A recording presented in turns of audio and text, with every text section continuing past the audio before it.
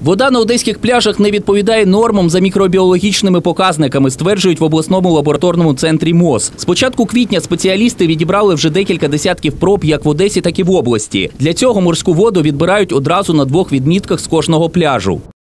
Расстояние берется 5 метров поверхность, потом 50 метров поверхность и 50 метров глубина. То есть мы заглубляем батометр и берем э, поглубже, насколько это позволяет. 5 метров – это зона купания, а дальше это уже э, зона, где люди не купаются. Для, и это необходимо для того, чтобы сравнивать результаты, насколько, насколько показатели воды соответствуют нормам.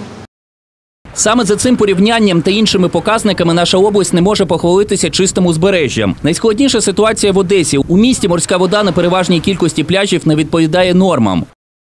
Если раньше у нас фиксировались эм, пробы м, несоответствующие, нестандартной воды в прибрежной зоне, то есть это пятиметровая зона купания, то э, на, се- на последний, э, во время последнего результата все пляжи э, Большого Фонтана и Аркадия у нас вода не соответствует нормативам на 5 и на 50 метрах.